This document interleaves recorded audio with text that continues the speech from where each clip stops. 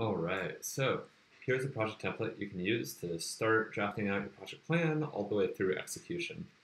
So I usually like to start my projects with a high-level project plan, or you can think of it kind of like a project brief. And actually, this is from the project brief in Doc template. So it starts with an idea and goes through all the different aspects of writing out and thinking about a, a project.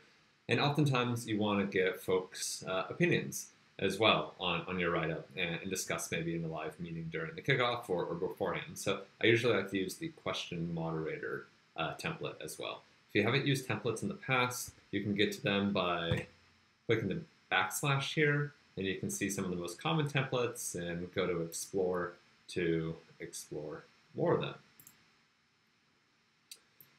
Moving on, this is my simplest and usually uh, most actively uh, reference pages, and it's just a link out to all the different uh, resources you might be using.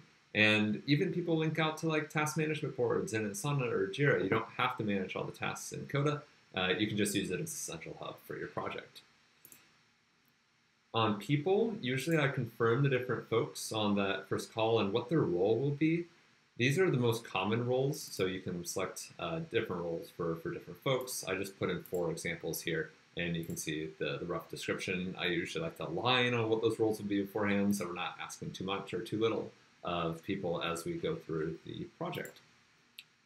The heart of this is the task board. So I just like to outline all my tasks. Usually this is something I would use in, in Google Sheets or uh, another lightweight task tracking tool.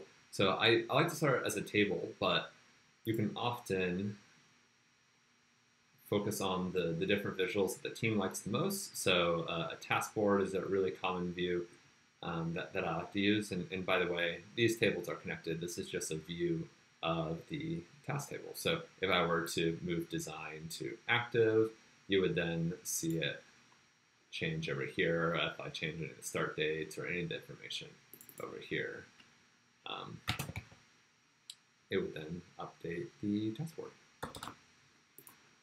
And same goes for all the different types of views. I've created a calendar, I've created a Gantt chart. The way that you create new views is similar to putting an in-doc template, do backslash, and pull in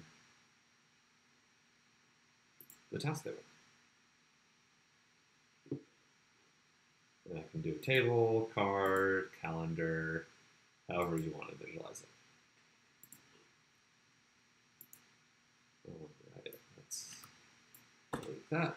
And then the last place is you'll probably have a, a, weekly, at least a monthly sync for a project, depending on its, its, timeline and the involvement the team needs. So I like to keep all my meeting notes here. I usually just write who attended, what the agenda is. I, will send this beforehand for anyone to add to the agenda and any next steps if there are any. So you can see the past dates here and the discussions that we had. The way that you create these tiles and roll up is this is an H2 heading, and then I click the three dots here and collapse it. All right, hopefully this is a really simple project hub to bring everyone together and bring all your information in one place so you can deliver and, and manage on really awesome projects.